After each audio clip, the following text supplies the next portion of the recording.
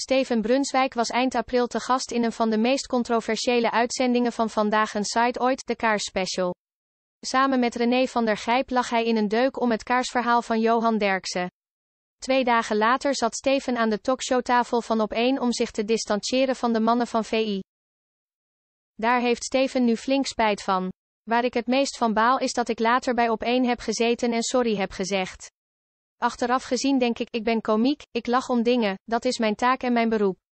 Ik mag lachen om dingen, hoe hard die dingen ook zijn, zegt hij in tijdschrift Nieuwe Revue.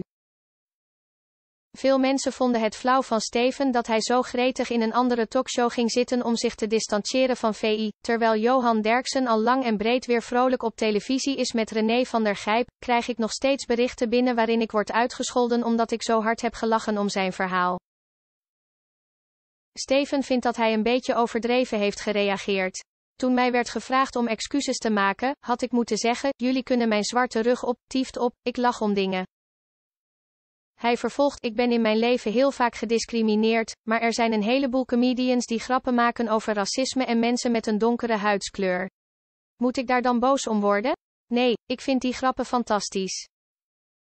Slachtoffers van grensoverschrijdend gedrag vonden het pijnlijk dat er in VI zo werd gelachen om Johans kaarsverhaal. Wat zegt Steven tegen die mensen? Praat erover voordat je andere mensen ergens de schuld van gaat geven die er niks mee te maken hebben.